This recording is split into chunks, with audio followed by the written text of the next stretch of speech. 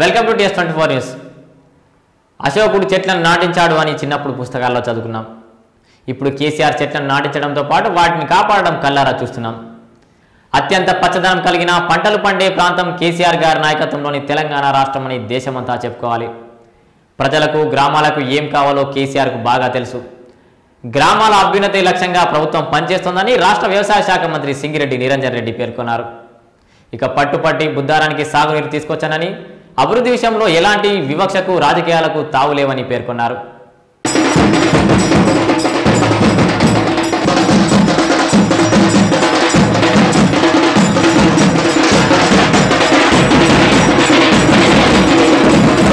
ఈ మండల జిల్లా పరిషత్ సభ్యురాలు జడ్పీటీసీ అదేవిధంగా ఈ గ్రామానికి సంబంధించినటువంటి మాజీ ప్రజాప్రతినిధులు ఎంపీటీసీలు కానీ సర్పంచులు కానీ రైతులు యువకులు మీడియా మిత్రులు అందరి ఇది కావాలో ఉండేటువంటి అనునిత్యం మనకి ఇబ్బందిగా అనుకుంటున్నటువంటి సమస్యలను ప్రభుత్వం పరిష్కరించడానికి సిద్ధంగా ఉన్నది. దానికి ప్రధానంగా గ్రామ పంచాయతీలే వేదికగా ఇప్పుడు ప్రతి గ్రామ పంచాయతీకి మీకు తెలవాలి ఈ విషయం అందుకే సభ పెట్టి మరీ చెప్తాము చెప్పమన్నారు ముఖ్యమంత్రి గారు. గతంలో గ్రామ పంచాయతీలకు నిధులు అనుకున్నంత లేవు. ఇప్పుడు ముఖ్యమంత్రి గారి తలంపు ఏంటంటే గ్రామ పంచాయతీలు స్వయం సమృద్ధిని సాధించాలి. వాళ్ళ అవసరాలు తీరేటట్లుగా రాష్ట్ర ప్రభుత్వం కానీ అదేవిధంగా కేంద్రం నుంచి వచ్చే గ్రాంట్ కానీ గ్రామ పంచాయతీలకు ఉండేటువంటి జనరల్ ఫండ్ కానీ అన్నీ కలిపి ఒక దూరం ముద్ద వేసి చూసుకుంటే ఏ ఊర్లో ఉండేటువంటి నిధులు ఆ ఊరి పనులకు సరిపోయేటట్లు ఉండాలి. ఇప్పుడు అదే చేసింది ముఖ్యమంత్రి గారు. నిన్న లేదు మొన్న రాత్రి అర్ధరాత్రి వరకే ప్రతి గ్రామ పంచాయతీకి లెక్క ప్రకారంగా ఎంత డబ్బు పడాలో గ్రామ పంచాయతీ అకౌంట్లో డబ్బు పడ్డది రాష్ట్ర ప్రభుత్వం నుంచి.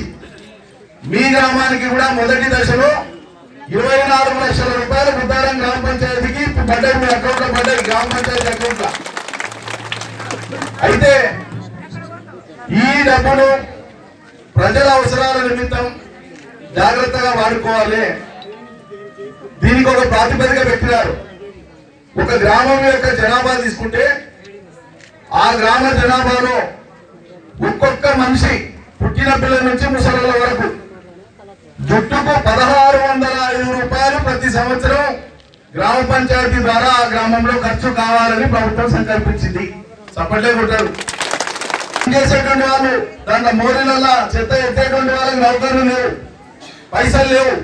ఇప్పుడు ఆ సఫాయి పని చేసేటువంటి కార్మికులకు నెలకు ఎనిమిది వేల ఐదు వందల చొప్పున ప్రభుత్వం నిర్ణయించింది గ్రామ పంచాయతీ. అదేవిధంగా నీళ్ళ మీద పనిచేసేటువంటి వాళ్ళు వాటర్ మ్యాన్లు ఇద్దరు ఉన్నారు. తర్వాత ఒక కారోబార్ ఉన్నారు. పన్నెండు మంది వార్డు పన్నెండు మంది వార్డు మెంబర్లు. అందులోకి వెళ్ళి ఒక సర్పంచ్ అదేవిధంగా మీరు ఎన్నుకున్న సర్పంచ్. వీళ్ళకు తోడుగా బాగు చేసుకోవడానికి ఉద్దేశించినటువంటి కార్యక్రమం.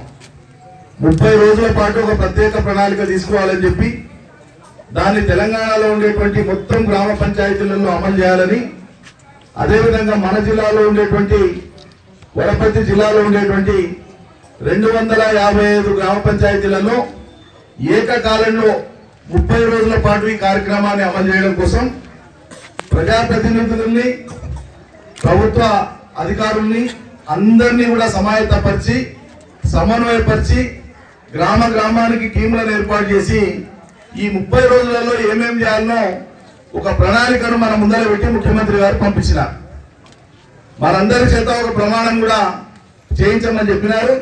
నేను మాట్లాడిన తర్వాత ఆ ప్రమాణం కూడా మనందరి చేత చేయిస్తారు. ముఖ్యమంత్రి గారు ఏం చెప్పదలుచుకున్నారో ఊరూరు ఆయన తిరిగి చెప్పలేరు కాబట్టి ఆయన యొక్క సందేశాన్ని ప్రతి సభలో కూడా ప్రతి గ్రామ పంచాయతీ సభలో కూడా అక్కడ ఉండేటువంటి ప్రత్యేక అధికారి గారు వినిపిస్తారు. అదేవిధంగా మనకు ప్రారంభంలోనే వినిపించడం జరిగింది. ముఖ్యమంత్రి గారు చెప్తున్నది ఏంది? ప్రజలకు గ్రామాలకు కావాల్సినటువంటివి కరెంటు కానీ మంచినీళ్ళు కానీ రోడ్లు కానీ స్కూళ్ళు కానీ దవాఖాన్లు కానీ చదువుకునేటువంటి పిల్లల కాలేజీలు కానీ సాగునీళ్ళు కానీ పింఛన్లు కానీ ఇవన్నీ సర్కారు పరంగా చేసేటివన్నీ మనం సర్కారు పరంగా చేస్తున్నాము. కానీ ఏ గ్రామానికి ఆ గ్రామంలో నివసించేటువంటి ప్రజలు వాళ్ళకు అవసరమైనటువంటి పనులు ఊళ్ళో వాళ్ళు నివసించేటువంటి చోట ప్రజలు వాళ్ళు బతికేటువంటి చోట వాళ్ళ పరిసరాలను బాగు చేసుకొని శుభ్రంగా ఉంటే గ్రామం శుభ్రంగా ఉంటుంది మనుషులు శుభ్రంగా ఉంటారు రోగాలు రొచ్చులు రాకుండా మనం అందరం ఆరోగ్యంగా ఉంటాము ఇది చెయ్యాలి అని ముఖ్యమంత్రి గారు చెప్తున్నారు. ముఖ్యమంత్రి గారు చెప్పేటువంటి మాటలు చేయడం మరి మంచిదా కాదా? మంచిదనుకునే వాళ్ళందరూ చప్పట్లు కొట్టండి